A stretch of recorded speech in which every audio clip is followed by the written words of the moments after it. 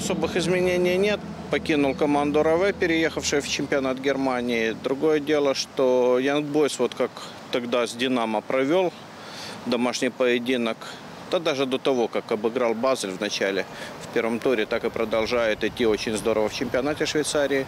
Команда лидирует, опережая на 2 очка э, Цюрих, опережая, Баз... опережает тот же Базель, который идет третьим на 5 очков, на 3 Цюрих, на 5 Базель. И играет очень здорово. Даже вот в последнем туре, в субботу, когда Янбойс проиграл Лозанне, которая шла к этому времени на предпоследнем месте, команда имела подавляющее преимущество, создала немало моментов. Достаточно сказать, что Лозанна два мяча провела после двух ударов по воротам, в створ ворот. А соперник «Динамо» пробил по воротам 19 раз и только два раза попал в створ ворот. То есть команда в хорошей форме, команда на ходу.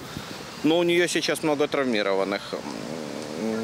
В последних матчах из-за травм не играли Сулеймани, который опять-таки из-за повреждения пропустил и киевский поединок в июле месяце.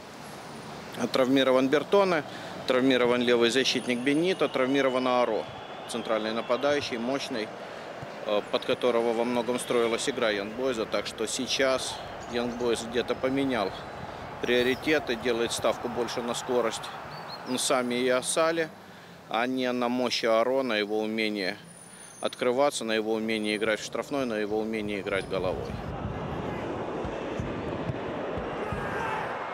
Я не думаю, что доминирующей в данном случае будет месть. Мне кажется, что все-таки э, приоритет будет турнирным задачам, турнирной таблице.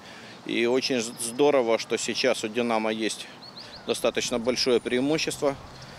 После двух туров 4 очка это, это действительно классно.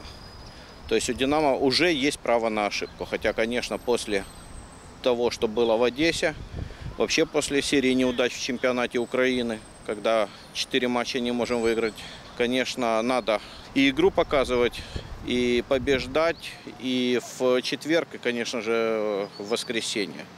То есть в, с точки зрения ситуации в киевском «Динамо», конечно, побеждать надо обязательно.